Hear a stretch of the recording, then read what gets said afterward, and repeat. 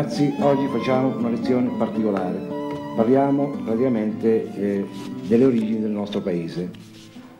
Per questo oggi ho invitato personalmente due signore del nostro paese per farci eh, dire in eh, lingua albanese un po' usi e costumi. E, Siamo in una scuola di Casalvecchio, piccolo centro agricolo di origine albanese in terra di Capitanata, nella provincia di Foggia. Dall'arrivo dei primi albanesi intorno alla seconda metà del 1400, questo paese è stato distrutto e ricostruito più volte a causa di dispute tra le diverse etnie e per il rifiuto dei nuovi arrivati di pagare le tasse sui fuochi. Oggi solo alcune targhe ricordano nelle due lingue le antiche origini di questa comunità. La scuola media è intitolata a un grande scrittore albanese, Gerolamo Derada, che nel secolo scorso rifondò la scrittura Arbresh, che è rimasta la base dell'attuale lingua parlata. Ancora oggi si parla la lingua albanese, o meglio dire l'Albresh, in alcuni comuni della Puglia ossia in provincia di Taranto, a San Marzano. Ma l'aspetto più importante di questi incontri è dato dalla presenza degli anziani che raccontano, spiegano e ricordano gli antichi usi di una cultura che è stata costretta dalla oppressione turca ad essere tramandata solo oralmente. Le anziane signore Arbresh parlano ai ragazzi nell'antica lingua, ma pochi ormai la capiscono e quasi nessuno è più in grado purtroppo di parlarla. I ricordi di questi giovani non vanno oltre gli anni dell'infanzia, vecchie ricette, qualche favola dei nonni, ma più indietro tutto comincia a disperdersi. Il mare, da dove cominciarono ad arrivare tanti secoli fa i loro avi, cancella quotidianamente le tracce di ogni passaggio e purtroppo per questi ragazzi chi non sa da dove viene non può sapere verso dove vorrà andare. Quello che racconta l'anziana donna sembra una favola. Il principe Giorgio Castriotta Skanderbeg, difensore della fede cristiana che aveva fermato sulle montagne d'Albania l'invasione dell'esercito ottomano, salpò dal porto di Ragusa con le sue navi cariche di valorosi guerrieri e cavalieri. Veniva in aiuto del re Ferdinando d'Aragona, il cui regno meridionale era minacciato dalla rivolta dei suoi feudatari schierati con la precedente casa regnante degli Angiò. Sbarcato sulle coste del Gargano, corse subito a Bari, dove re Ferdinando era assediato dalle truppe angioine e provenzali. Grazie a quell'intervento il regno di Napoli fu salvo.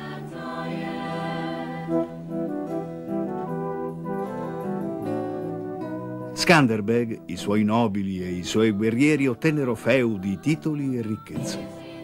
Da allora molte famiglie albanesi fissarono in questi territori la loro stabile dimora. Pochi anni dopo, nel 1468, tornato in Albania, il principe Skanderbeg morì. Gli albanesi furono definitivamente sconfitti e l'impero turco finì col dilagare in tutti i Balcani. A migliaia presero ad attraversare il mare in successive ondate di emigrazione. Qui forse potranno rinascere le sue speranze. L'antica Pleuti medievale, deserta per un tremendo terremoto, fu ripopolata e ricostruita dalle famiglie dei profughi albanesi. Il paese dipendeva prima dal feudo di Serra Capriola, il cui signore si era ribellato al re d'Aragona. Ora il monarca vincitore assegnava Chieuti in usufrutto alla comunità dei coloni albanesi. I nuovi arrivati si dedicarono subito all'agricoltura e in poco tempo ricostruirono l'attuale città, fortificandola con torri e mura per difendersi dalle scorrerie che i turchi continuavano a fare lungo l'Adriatico. Al centro dell'abitato costruirono una chiesa intitolata a San Giorgio Martire, in memoria del loro principe. In essa si svolgevano i sacri misteri secondo il rito greco-cattolico, dal momento che gli albanesi professavano a quel tempo quella religione.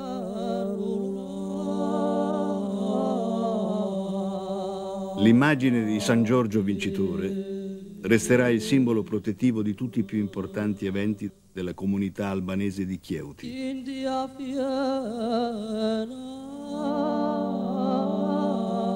Fuori le mura fu costruita molti anni dopo la chiesa di rito cattolico di Santa Maria degli Angeli, poi però abbandonata quando il rito greco fu sopraffatto da quello latino. Aiete riprende il suo viaggio verso i paesi arbresce del vicino Molise e quello che gli capiterà sarà quasi un altro miracolo.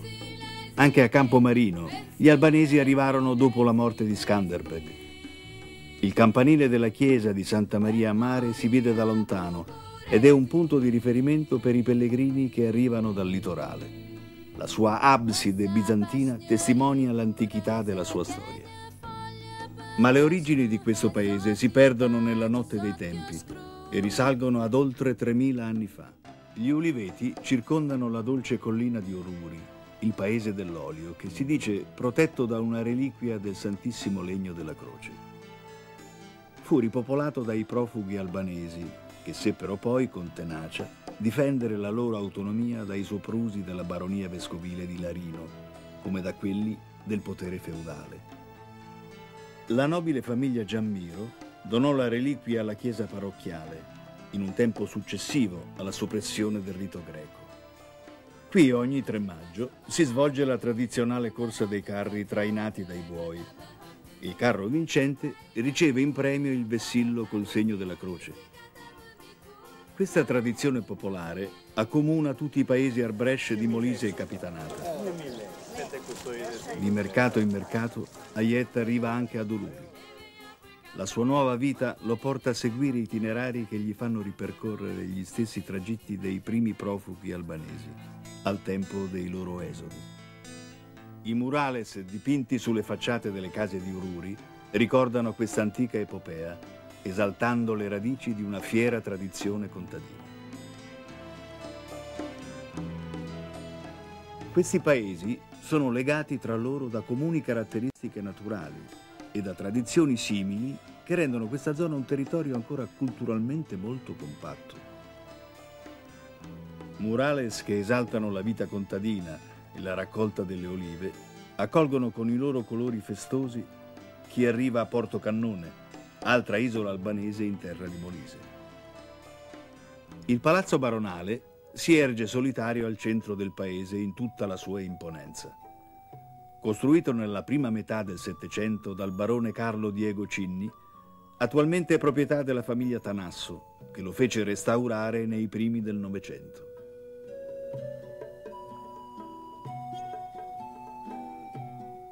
Gli affreschi delle volte interne al piano nobile richiamano anche qui il tema fondamentale della civiltà contadina e della sua prospera laboriosità, che si sposa con la ricca eleganza delle sale interne e dei saloni. Il palazzo si presenta come una costruzione massiccia che domina la vicina piazza Skanderbeg. L'antica Porto Candesium ha origini latino-medievali, ma nel 1456 fu rasa al suolo da un tremendo terremoto. Poi iniziarono le immigrazioni albanesi. La chiesa della Madonna Santissima di Costantinopoli lega la propria denominazione alla leggenda di questi arrivi. Al suo interno è conservato l'artistico fonte battesimale in legno scolpito e dipinto. Si racconta che i profughi lo abbiano portato con loro nella traversata, assieme ad un'icona della Madonna. La statua della stessa Madonna protegge la memoria di questo evento che viene ricordato dall'annuale e spettacolare gara della Carrese. La memoria delle proprie origini è rafforzata dalla coppia della spada di Skanderbeg conservata nella sala consigliare del comune. È un omaggio della città di Cruie, patria dell'eroe, che si è gemellata con Porto Cannone nel 1995. Dalle falde della Maiella, attraverso questi paesi, si scende a Chieuti verso il mare. Qui, alla fine di aprile, nei giorni della festa di San Giorgio, si celebrano i rituali che sono legati alle origini degli Arbresh. Da un mercato all'altro, Hayet è tornato al paese che per primo aveva visitato al tempo del suo arrivo.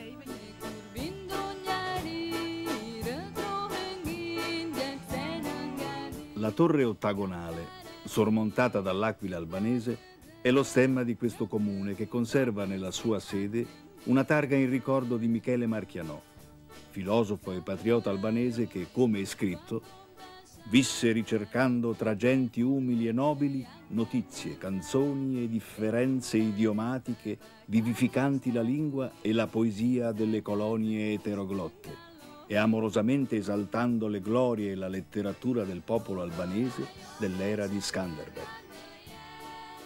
Sembrano tempi lontani, relegati per sempre in vecchie immagini fotografiche, ma tra questa gente sono tempi che continuano a scandire la vita di tutti. Il bue rappresenta la fatica del duro lavoro nei campi e nei paesi di antica tradizione contadina il bue ha rappresentato tutto.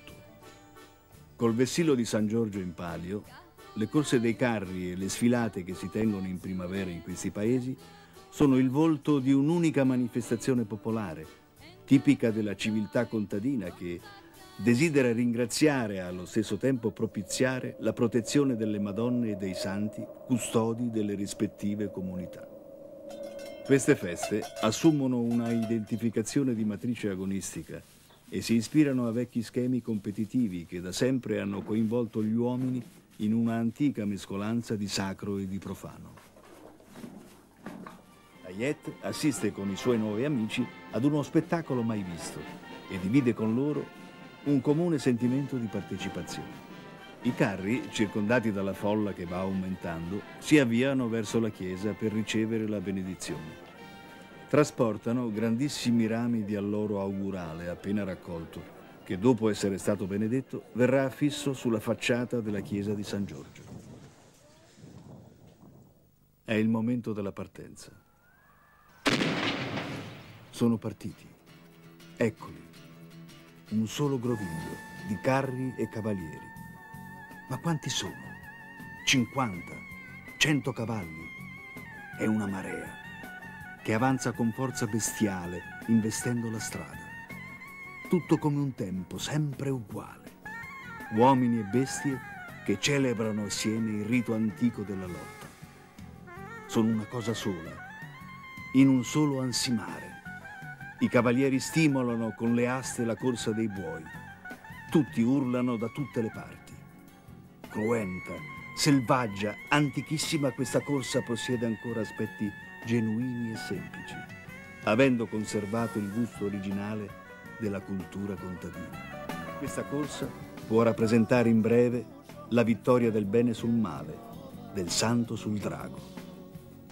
La leggenda parla di una coppia di buoi che, liberati dagli albanesi appena sbarcati, vennero a fermare qui la loro corsa e qui fu fondata Chieuti.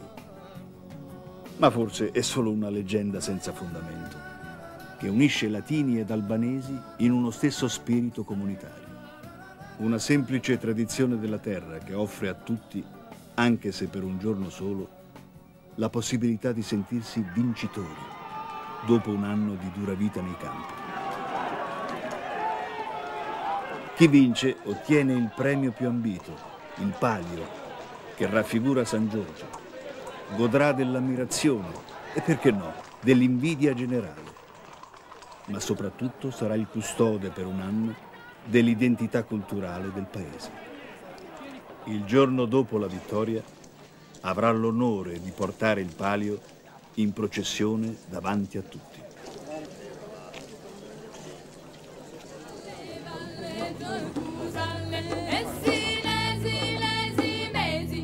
Il giorno della festa di San Giorgio è un giorno speciale anche a Monte Cilfone. Questo è il paese dove è maggiore lo sforzo per mantenere vive le tradizioni Arbresh. Qui gli studi e le ricerche che vengono condotti rappresentano un contributo di grande importanza per la conoscenza di questa cultura e per la sua storia.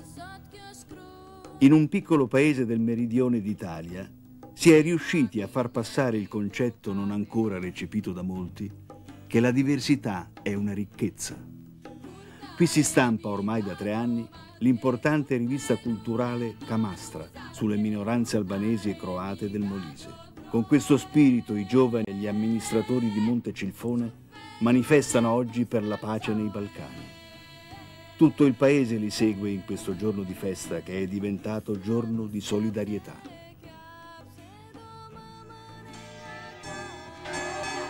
Uno dei loro cartelli dice ci battiamo perché non ci siano più altri eredi di altri esodi. Il piccolo centro storico è ricco delle semplici caratteristiche di molti paesi meridionali. Piazzette e vicoli raccontano una storia di semplice e dura vita contadina.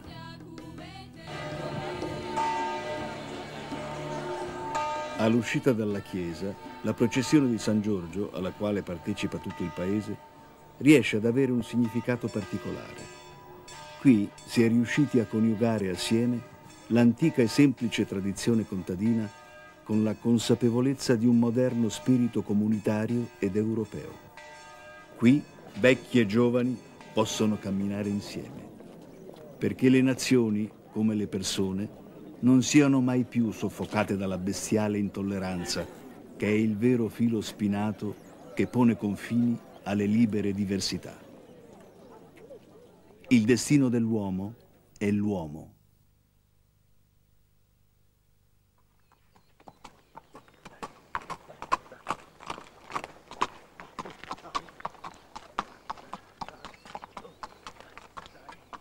Sulla strada di Ayet, a tenergli compagnia, c'è una parola che ha lo stesso significato in tutte le lingue. Solidarietà.